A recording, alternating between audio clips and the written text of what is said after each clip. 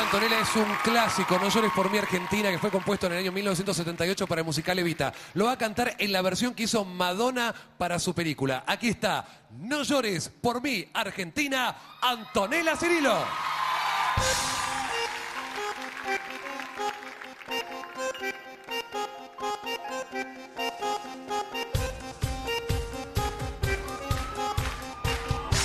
Será difícil de comprender pesar de estar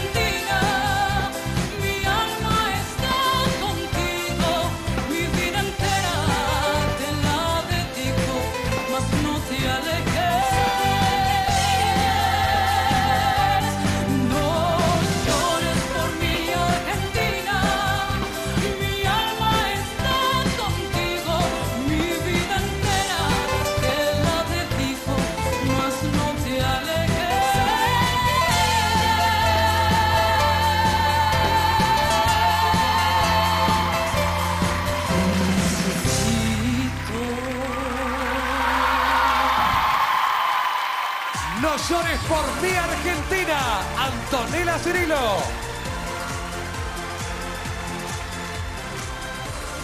Bueno, y ahora lo tenemos realmente en problemas al Puma. ¿eh? Esto va a ser complicadísimo. Voy a correr esto del lugar.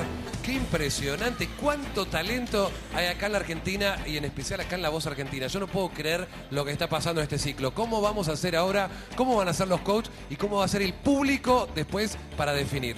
Vamos a escuchar primero, vamos para acá adelante, a Axel. Antonella, Cirilo, como dice el Puma. Antonella. Eh, déjame decirte primero que bajabas por ahí y no te reconocí, que se equivocaron de persona. Primero que me encanta el look, estás hermosa. Estás, pero irradias luz, hermosa. Y, tu voz, eh, impecable. Tenés una voz con una potencia, con una, una certeza en las notas, una claridad. Sinceramente, no dejas de sorprenderme. Sos para mí una de las favoritas de, de todo el certamen, ¿eh? de, de todos los equipos. Realmente tenés una voz especial. Te deseo lo mejor, la verdad. Deseo lo- Y eso que esta vez no me dijiste que me amabas, pero te deseo lo mejor igual. Puma. Antonella, No te copies. impresionante. Ah, a mí me pasa algo muy fuerte con esta canción. Cuando te escuché en el ensayo, eh, me llegó directo al corazón y aquí, bueno, me quebré por completo. Y tienes una maestría en el manejo de la voz que me impresiona. Eres muy joven y sin embargo cantas como, no sé, una mujer que- de mucha experiencia cantando. El look sensacional. Tu puesta en escena impresionante. Me gusta mucho como tú lo haces. De verdad, te deseo mucha suerte, muchas bendiciones.